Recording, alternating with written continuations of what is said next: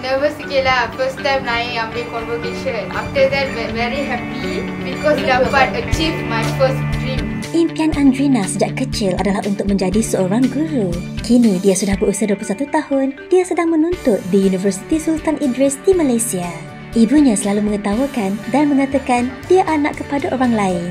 Suci bawa dia jadi cikgu. Suci punya anak. Andrina dibesarkan dalam keluarga yang miskin dan perbelanjaan pendidikan untuk keempat-empat adik perempuannya membebankan keluarganya. Nasib baik, Andrina dan kakaknya telah menerima Suci Sprout Bursary selama enam tahun berturut-turut sejak 2012 dan mereka telah membalas jasa itu dengan mendapat keputusan yang cemerlang di universiti. Saya mau diorang belajar betul-betul. Kita tak mau orang cakap orang PPR. Oh, diorang selalu cakap susah-susah. Tapi anak tak mau pergi kerja. Kecil-kecil sudah kahwin lari di sana. Saya mau saya punya anak dia achieve something.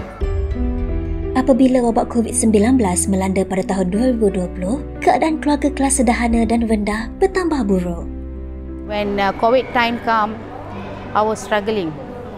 I was struggling, no work, my husband have no work, four kids have to eat. And then I don't know who to call because I don't have any relative.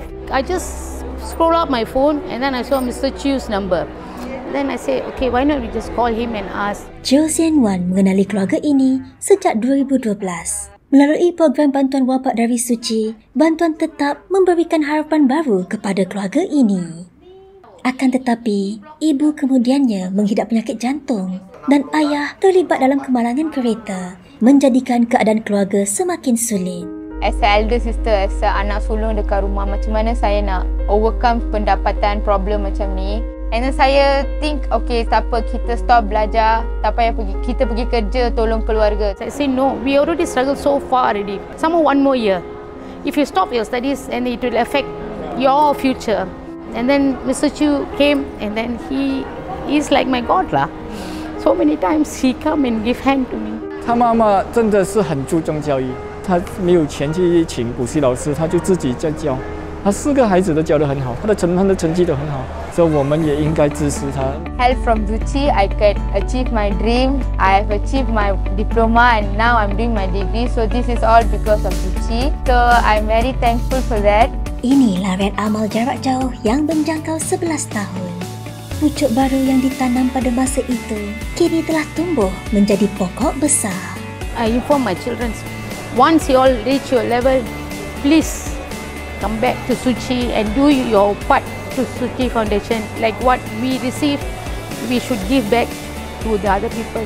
They're willing to spend their time, their money, their effort to make people happy, to make people smile. So I learned this from them. I wanted to, do, I want to be like them. 觉得教育很重要。